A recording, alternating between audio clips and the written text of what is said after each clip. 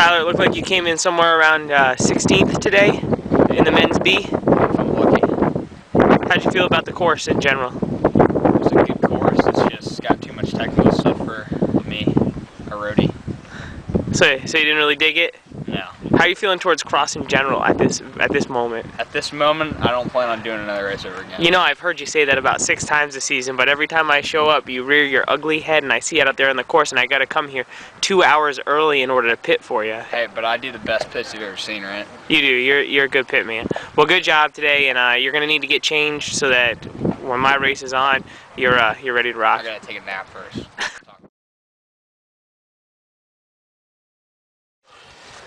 Tyler Karnes, winner of the B race today.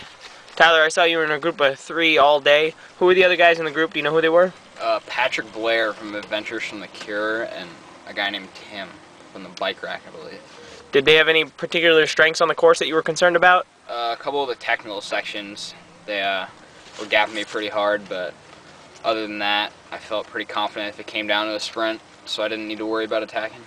Did uh, was it was the the sprint finish your plan uh, pretty much the whole way along?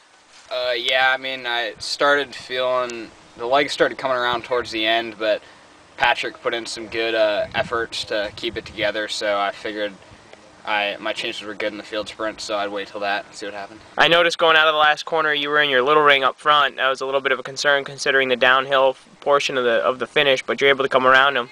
Used to the junior gear, so wasn't a problem. Well, good job today. Congratulations. Thank you.